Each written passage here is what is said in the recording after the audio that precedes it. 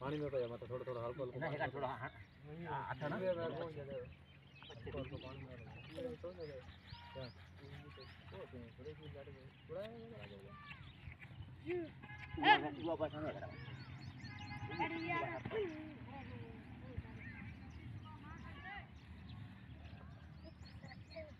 ನಡಿಗೆ ಹಣೆಲ್ಲ ಸ್ವಲ್ಪ ಸ್ವಲ್ಪ ಗೋಣ ಗೋಣ ಗಾಮ್ Devam et bana, devam.